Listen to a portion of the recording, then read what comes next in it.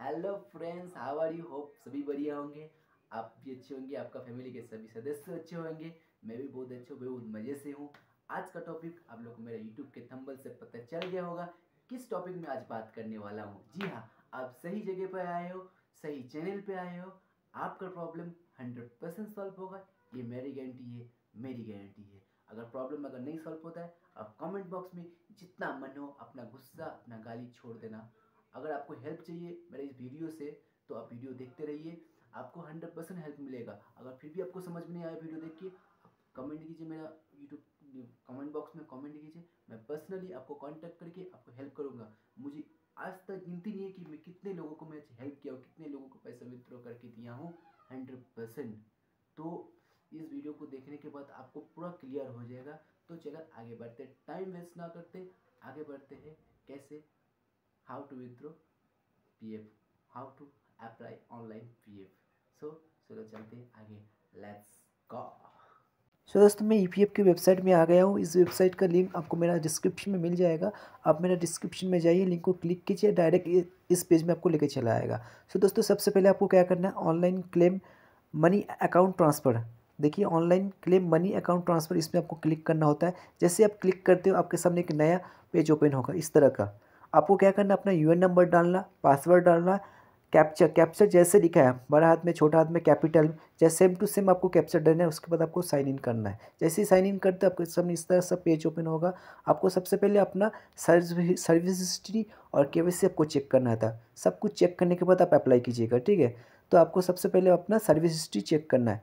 देखिए व्यू पे जाइए व्यू में जाके आपको सेकंड में सर्विस हिस्ट्री उसमें आपको क्लिक करना होगा। क्लिक करके आप लोगों ने अपना सर्विस हिस्ट्री चेक करना सर्विस हिस्ट्री क्या है? सर्विस हिस्ट्री ये है कि आप कौन सा कंपनी में काम किए हो, कब ज्वाइन की हो, कब छोड़े हो, सब कुछ आपको वहाँ पर मिल जाएगा। और सब एक बात और इम्पोर्टेंट आपको अगर आप एक से अधिक कंपनी में काम किए हो तो उसके लिए आपको पहले जो प्रीवियस कंपनी, उसका पैसा आपको करंट में ट्रांसफ़र करना पड़ेगा। अगर आप प्रीवियस कंपनी का पैसा करंट कंपनी में ट्रांसफ़र नहीं करते तो आपको फुल एंड फाइनल पैसा नहीं उठेगा। जो करंट कंपनी का पैसा, वही सिर्फ़ उठेगा और बाद में जो प्रीवियस कंपनी का पैसा उठाने में आपको प्रॉब्लम होगा। इससे सबसे पहले आपको प्रीवियस कंपनी का पैसा ट्रांसफ़र कर लेना चाहिए। नहीं तो आगे जाके बहुत प्रॉब्लम होगा आपको, प्रीवियस कंपनी का पैसा विद्रॉ करने में बहुत प्रॉब्लम फेस कर पा, करना पड़ेगा। उसके बाद दोस्तों, अपना पासबुक में जाइए। अपना पासबुक में देखिए आपका कितना पीएफ का पैसा है। सब कुछ चेक कर लें आपको। आपका पासबुक में कितना पैसा है, कैसा क्या है, सब कुछ आपको चेक करना होता है। और यहाँ पे आपको जाइए, देखिए आप, आपको डेट ऑफ़ एग्जिट मेंशन है कि नहीं, आपको देखना है। आप कौन सा कंपनी में काम किए हो, आपको दोनों कम हाँ दोनों, दो कंपनी में काम किए हो, अगर पैसा तब ट्रांसफ़र कर लिया अगर दोनों कंपनी में डेट ऑफ़ एग्जिट होना चाहिए। अगर डेट ऑफ़ एग्जिट भी ना होता, आप खुद भी, खुद अपना डेट ऑफ़ एग्जिट मेंशन कर सकते हो। तो डेट ऑफ़ एग्जिट मेंशन कैसे करेंगे, आप, मैं आपको यहाँ पर बताऊँगा। डेट ऑफ़ एग्जिट आपको खुद, आप खुद कैसे करते हो। तो आइए मैं दिखाता हूँ आपको डेटाबेस सबसे पहले आपको क्या करना है? ये देखिए मार्ट एग्जिट में जाना है। मैनेज में मार्ट एग्जिट में जाके आपके सामने इस तरह से पेज ओपन होगा। उसके बाद आपको अपना ये ये ये करना है। देखिए, इसके बाद सामने इससे ऐसा आएगा, आपका अपना date of exit date of exit आपको काम छोड़ने के दो महीने के बाद आपको डालना होता है। तो डेट ऑफ़ एग्जिट मेंशन करने के बाद आपको ओके कर देना होता है। ओके कर दीजिए आप। ओके करने के बाद आपको अपना के चेक कर लेना है। के में आना है। के में आके आपको नीचे आपको डिटेल्स आ जाएगा। अगर के आपका किया है तो अच्छी बात अगर के की डिटेल्स नहीं है तो आप देखिए बैंक पैन पासवर्ड जो भी आप अपडेट नहीं है, उसमें आप जाइए। किसी आपका सपोज़ आपका बैंक डिटेल अपडेट नहीं है तो आपको बैंक में क्लिक करना होगा। आपका बैंक डिटेल अगर सपोज़ अपडेट नहीं बैंक क्लिक नहीं पैन अपडेट नहीं तो पैन पे क्लिक क्लिक करना होता है। तो मैक्सिमम तो हो जाता है। तो मैं आपको बैंक डिटेल्स कैसे अपडेट कर दिखाता हूँ। ठीक है? देखिए बैंक पे जैसे मारेंगे, आपको नीचे आ जाएगा अपना bank account number bank IFC code, ठीक है? अगर अगर करने के बाद आपको क्या करना है उधर? आपको सबमिट करना होता है। सबमिट करने के बाद पाँच से छः सात दिन के अंदर आपका जो एम्प्लॉय है, वो आपको डिजिटल साइन साइन के द्वारा आपका के वाई सी अप्रूव कर देगा। जैसे आपका के वाई सी पूरा सब कुछ अप्रूव हो है, हो जाता है, उसके बाद जाके आप आगे का प्रोसेस कर सकते हो, ठीक है? तो देखिए, जैसे आपका के वाई सी सारा अप्रूव होगा तो यहाँ पे चला आएगा, देखिए।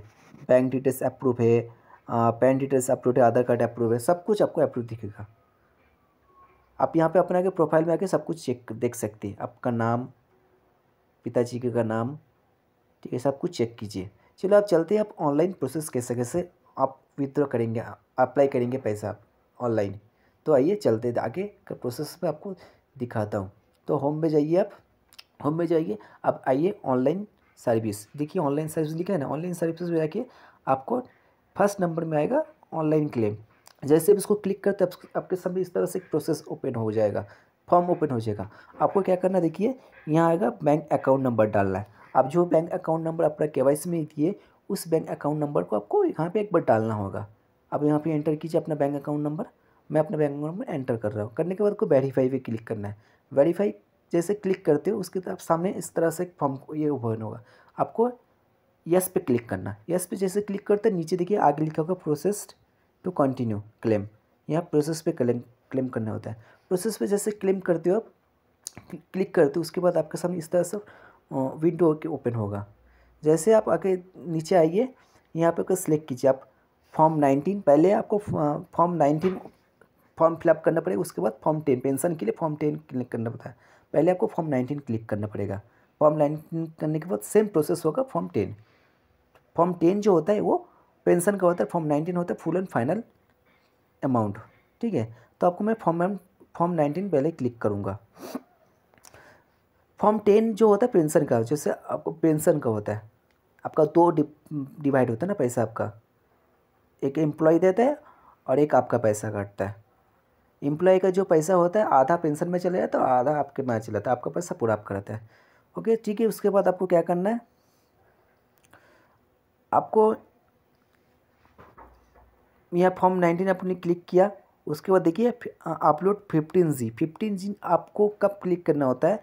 अगर आपको टैक्स से बचना है। अगर आपका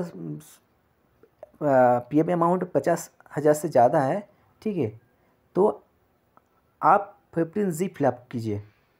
अगर पंद्रह हज़ार, पचास हज़ार से नीचे है तो आप फिफ्टीन जी मत फिलअप कीजिए। ठीक है, पंद्रह हज़ार से ज़्यादा, सॉरी, फिफ्टी थाउज़ेंड से अगर ज़्यादा तो आप ये अपलोड फिफ्टीन जी फ्लिप कीजिए। उसके बाद आपको नीचे आ जाना है, आपका इम्प्लॉय एड्रेस, आपका एड्रेस, आपका आधार कार्ड में जो एड्रेस है, वो एड्रेस आपको यहाँ पे एंटर करना होता है। एंटर करने के बाद, उसके बाद देखिए आपको पास बॉय पासबुक पासबुक या कैंसिल चेक बॉय। ये दोनों में से एक चीज़ आपको अपडेट करना होता है। कैंसिल चेक बॉय क्लियर होना चाहिए, उसमें अपना, आपका नाम, आपका अकाउंट नंबर आई कोड पूरा क्लियर होना चाहिए पासबुक भी सेम उसके बाद आपको अपडेट करना होता है। यहाँ पे आपके व्यू में जाके चेक कर लीजिए, आपको मतलब जो डॉक्यूमेंट्स आप बैंक अकाउंट बैंक का डिटेल्स सॉरी बैंक का पासबुक या चेक कैंसिल चेक वो आपको, अगर आप अपडेट किए हो तो यहाँ पे आके व्यू में आके चेक कीजिए। ठीक है? अगर जिन लोग मोबाइल से कर रहे हैं, उन लोग का कैमरा से अगर फ़ोटो खींचते हो ना आप लोग बैंक पासबुक या कैंसिल चेक कोई लेता नहीं है। आप एक काम कीजिए, ऐप क्या बोलते हैं उसका, गूगल प्ले स्टोर में जाइए, ब्यूटी प्लस एक ऐप है, वहाँ उससे आप उस कैमरा से आप पिक, ये ये कैम, उस कैमरा से आप ये कीजिए, और फ़ोटो लीजिए। फ़ोटो लेने के बाद आपको हो जाए, इसमें हंड्रेड के भी चाहिए होता है। उसके बाद आपको क्या करना है, सब कुछ प्रोसेस करने के बाद टिक करना है, उसके बाद गेट ओ पी मारना है। आपको गेट ओ टी पी मारना है। जैसे आप गेट ओ टी पी मारते हो एक ओ टी पी आएगा आपको रजिस्ट्री मोबाइल नंबर पे, उस पर आपको उस ओ टी पी को आपको यहाँ पे एंटर करना होता है। एंटर जैसे करते हो, आपको सबमिट करना है। जैसे आप सबमिट करते हो, आपका क्लेम सबमिट हो जाता है। और उसके बाद आपको पाँच से सात दिन के अंदर आपको पैसा आपके अकाउंट में चले जाता है। और ये क्लिक करके अपना स्टेटस चेक कर सकते हो। सेम प्रोसेस टेन सी के लिए। टेन से भी आप चाहिए सेम टू सेम प्रोसेस है। सेम आपको एक अपना अकाउंट नंबर डालना होता है। अपना अकाउंट नंबर आगे फिर सेम सेम यस करना होता है। सेम प्रोसेस टू उसके बाद सेम आपका सेम नहीं सेम आपको यहाँ पे आपको टेन सी पे एंटर करना होता है। उसके बाद आपका आपका सब कुछ डिटेल्स आ जाएगा। उसके बाद आपको सेम एड्रेस डालना होता है। यहाँ पे, वो तो टेन सी आपको यहाँ पे अप्लाई करना है। अब तो टेन नाइनटीन अप्लाई पहले कर लिए। उसके बाद टेन सी करना है। सेम टेन सी करने के उसके एड्रेस देना है। एड्रेस देके फिर सेम वही बैंक कॉपी या बैंक का चेक बुक या पासबुक आपको सेम देना है। देखिए आपको सेम वहाँ पे सब टर्म्स एंड कंडीशन में क्लिक करना है। टिक करना है। करने के बाद आपको सेम कैंसिल बुक देखिए ऐसे होना चाहिए। कैंसिल ऐसे इस तरह से पूरा मेंशन होना चाहिए। आपका अकाउंट नंबर आपका नेम सब कुछ मेंशन होगा। थोड़ा भी मिस्टेक रहेगा तो लोग रिजेक्ट कर देता है। ठीक है? उसके बाद आपको टिक कीजिए। टिक करने के बाद आप सबमिट कीजिएगा। Get OTP get Aadhaar O T P जाइए। गेट आधार ओटीपी उसके बाद आपको ओटीपी मिलेगा। ओटीपी सबमिट करने के बाद आपका क्लेम सक्सेसफुल सबमिट हो जाएगा। देखिए।